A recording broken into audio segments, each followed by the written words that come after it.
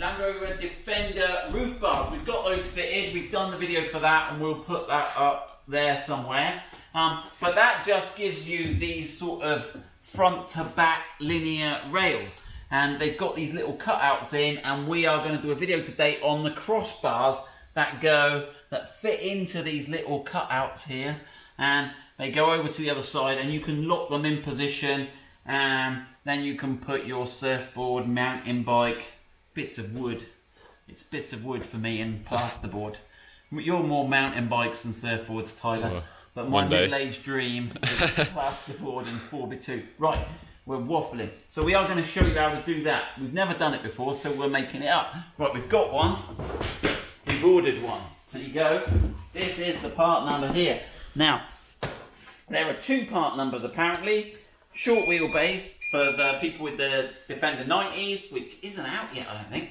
And long wheelbase for people like me with the Land Rover 110. So this is the part number for the long wheelbase 110. And we haven't opened these, so we are going to have a look now. I got in trouble with Land Rover for tearing into something the other day. Apparently that broke a aluminium skid plate, which was total nonsense. But It's alright. if I complain to them and things are broken, they're, they're now analysing my unwrapping technique. I better behave myself. It's only a defender, you've got to be fragile. Yeah, or Mr. Skywalker, that's his code name. I've been given a handler at Land Rover head office just to make sure I behave myself and don't upset anybody. But he is looking after me, so I, I mustn't complain. Right, so what have we got, Tyler? So we have had a read of the instructions, but let's have a look. So now apparently the key to this is a sticker, right?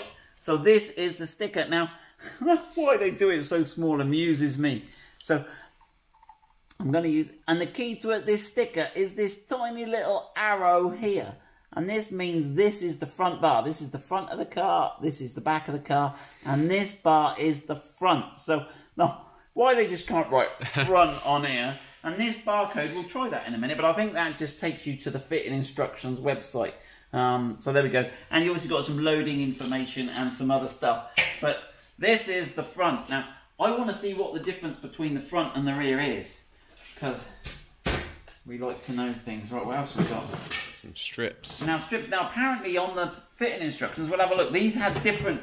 It wasn't two of the same, and I reckon these are going to be different lengths. But let's have a look. I reckon there was. Mm, mm, not a lot of difference in those two, because normally No. it says part A times two, but it didn't. Yeah. was like an A and a B. So I'm always dubious whether it is right. So we got those. Right, and we've got this big Tool. tool. That is monster. Look at that bad boy. That is a beast of a tool.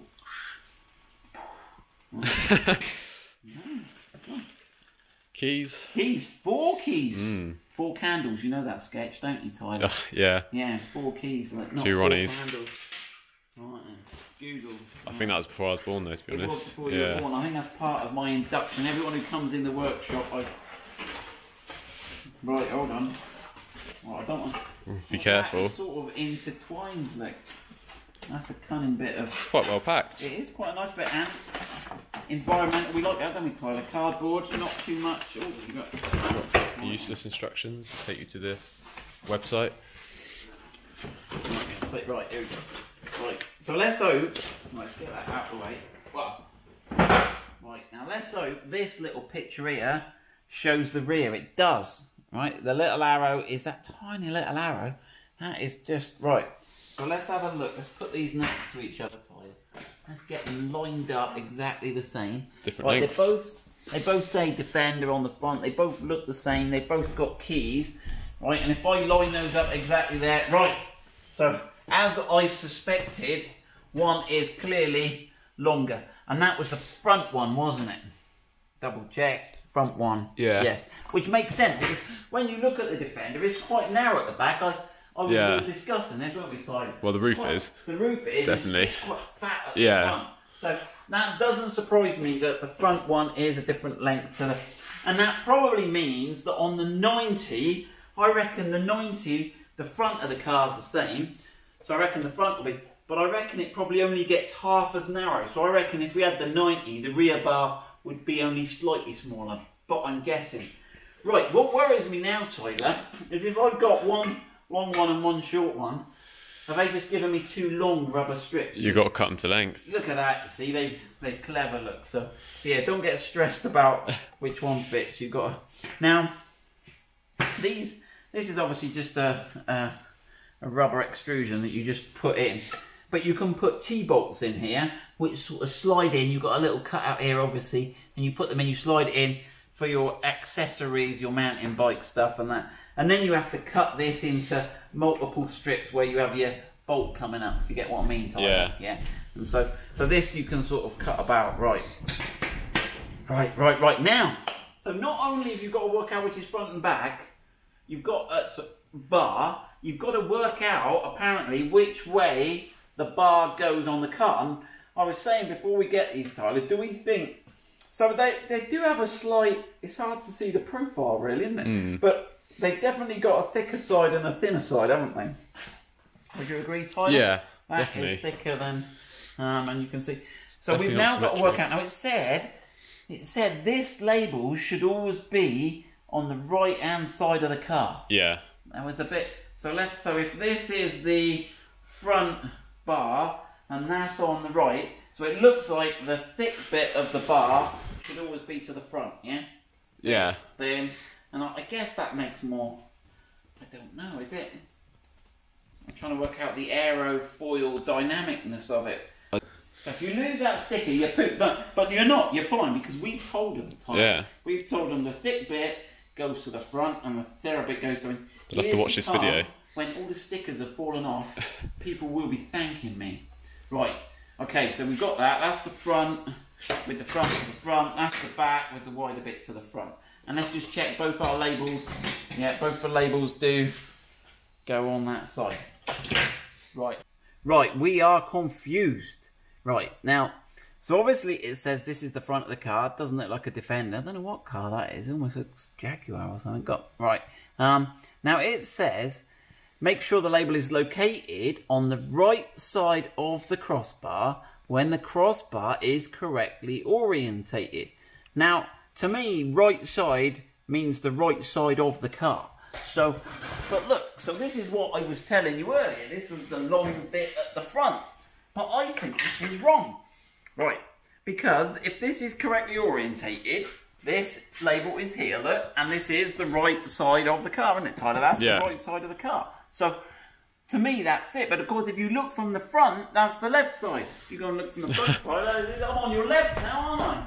So, but, but that would be bonkers. Right, so why do I think it's wrong? Right, two reasons. When you look at an aerofoil bar, it's normally got a blunt, rounded side at the front, and then it tapers like a wing, slick at the rear. And this looks blunter at the front rear. So, so I think it should be the other way round. And also, if you look, if you look here, this little bump is the giveaway. So you've got the key. I'm doing this blind, and the, the bump we've got it with the label on the right to the rear. But when you look at his picture, the, if this is really a reflection of this here, then the bump is clearly to the front of the key. So, so right, why else do I think it's wrong? Because if you look up here, if we can do this without blinding the light, Tyler, if you come round here, right, my front arrow is now pointing backwards when I've got the label. Whereas if I spin it round and put it on the left side, right, I've now got the front pointing to the front. So I think they go this way. I've then got the blunt side to the front, which I think is more aerodynamic. So I think for those people that are watching, I'm now going to re-say, and I'm going to I'm going to write to Land Rover, hello Mr. Skywalker, you need to clarify this, it's not clear. I think the short edge goes to the front and the long edge goes to the back. We happy with that, Tyler? Yep. Right, right, let's crack on. Right, enough of the front rear debate. So now we need to fit this rubber strip. Now I got into another debate and a discussion with Tyler. We're talking about vortex induced things. I'll, so if you have, I'll bore everyone quickly. If you have wind flowing over a cylinder or a circular thing, what will happen is called vortex induced vibration. This will start to go as you go in the wind. It will start to rapidly vibrate like this. But if you put a little spiral, a little helix around the outside there, it will stop that dead. So this is the roof antenna of my Astra. Um, and people think it's a wire communicating, but it's not. That little wire spiraling round is to stop it vibrating, and it's it's just a weird thing, right? Um, and I was saying to Tyler, do you think these little grooves going this way are to reduce the vortex from as the airflow's going over this to stop this vibrating and reduce the noise? Because if you put that side by side you can see that the top surface would indeed have things sloping. Don't know. Maybe Land Rover will tell me. Right so enough of that he does digress doesn't he we never get anything done here because Simon's always going on about something Tangent. tangent. Elise came home from school yesterday. That's my daughter, and uh, she's doing maths A level, and she's got a line she drew with a pen on here, and and it says tan line. But she hasn't drawn a straight line. She's then drawn the tan graph on it. She thinks that's funny. But there you go. Right. So they say we can cut this to length. Key, thank you. Right. There you go Wonder what happens if you mess it up. before we get to the end, put that there. Right, so we now have the rubber strip with vortex reducing pattern on the top. Right, now we're ready to go to the car, aren't we, Tyler? Yep. Right, so let's have a look. So we've got the front to the front. Let's check which bar it is. This bar is that. I think it says we've got to put the front one on first, doesn't it? Say put the front one on first. No Yeah. idea why. Front left. Right, let's get the stools in position and let's go up to the roof. Right, so before you go up on the roof, we've, we've just had a play and we've got a couple of tips for you. So I left this dangling down with the key in and it sort of scratched my paintwork. So although the instructions don't recommend it, you can squeeze these in, right, because you're just going to end up scratching your car, right, and they should just pop out, okay? So I would take both of those out. Let's do that quick. There you go. Right, so both of those out. Get yourself a Chinagraph pencil because we'll find that handy. Right, and also let's understand how the mechanism works. So there's, so we've got this, this floating sort of square oblong pad here, and you can see that's linked to that bolt on the inside there. Right, so that's the bit we've got to locate. You'll see on the roof. But we've also got a secondary mechanism, and when I pull this this little bit here, it's got two little pulls on it so you can pull it. You'll see this fires, if I get that out of the way, you see this fires and that's when we dock into the little location tab. So we've got to make sure that as we insert it, we keep this pulled back so it's in line with this. Then it engages, then we slide it along the rails to where the little opening is and then that fires out. So that's the mechanisms we're looking at. It's no more complicated than that. Um, so you've got the, everyone's got it now. Right, so we've got that bit at the front. Right, you jump up on your side, Tyler. I'll pass this across to you.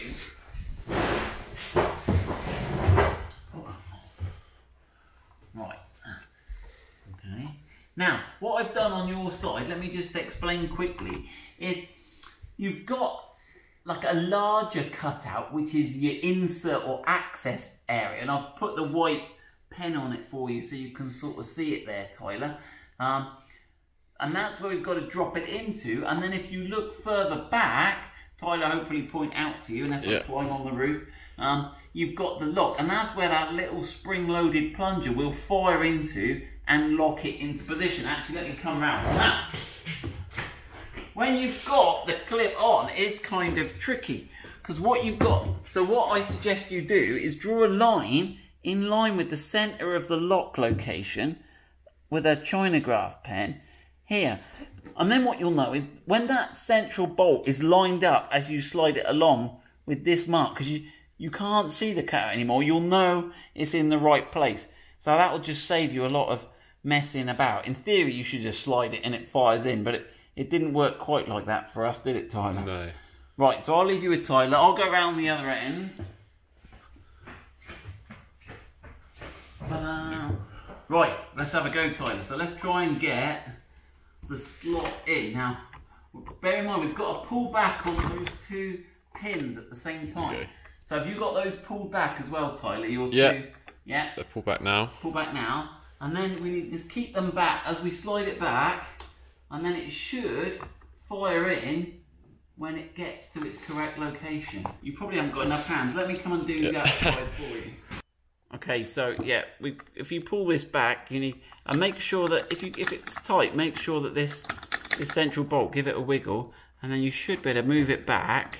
I'm gonna have to go move the other side a bit now, and then when it gets back to the correct location, uh, you should be set to go now, Tyler, shouldn't you? Yeah.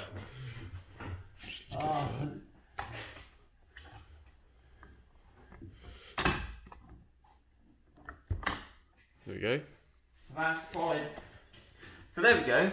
So- That's that's fired in now. So you can check that that's secure, and those two have fired in. So obviously, when if you need to remove it at any time, you'll have to loosen that nut and then pull that, and you can move it. But make sure it's fired in and push back. Right. So what we now have to do is use our monster man key. It sounds humongous. Um, and, we, and you need to loosen one side. Sorry, you need to tighten. So you turn it clockwise one side. So I've already tightened the other side, but not fully. It said just get it firm, not tight. Now, then come over to your second side. And apparently if we, it says the instructions say if we keep turning and do it tight, it will click. So we're going to listen for a click. I don't know what's going to click. Something. Something. No click yet, Tyler.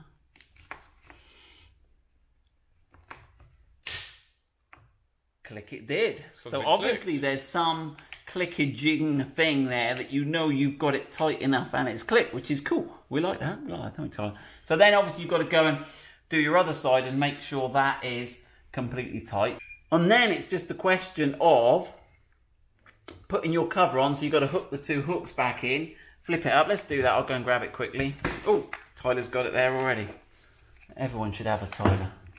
Right. Ah, the other thing. Right. If you're going to do this and you're about to go and do it on your car and you watch the video, put your suspension down in the low mode. And we'll show you another little trick as well. The low, low end? mode. The low low mode. How low can you go? Right. So that does a funny sort of mechanism. So obviously, make sure your key's upright. And then put that on. That seems to be almost closed.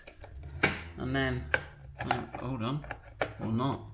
Ah, sorry, Okay. my bad. Make sure your key is flat. Insert, turn it vertical, take out. There we go. That is the roof bars fitted on a Land Rover Defender. Right, let's show you in the low, low mode. So obviously you can do low mode in there, but if you want a little bit of extra lowliness, what you can do is here somewhere, you've got this little up down button. And if you press this, if you go back, Tyler, you can see we should get some extra.